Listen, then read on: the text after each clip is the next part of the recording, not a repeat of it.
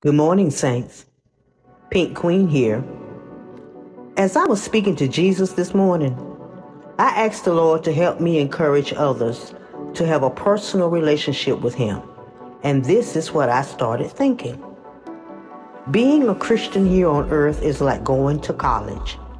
We are here to learn the lessons that we need to know in order to successfully run the race that God has put before us.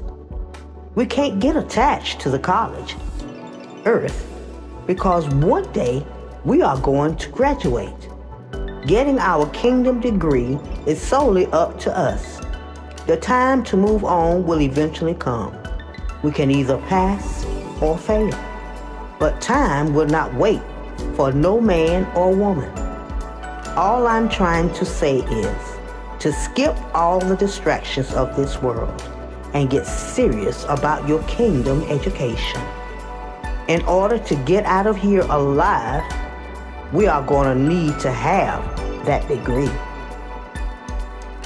Y'all have a kingdom day.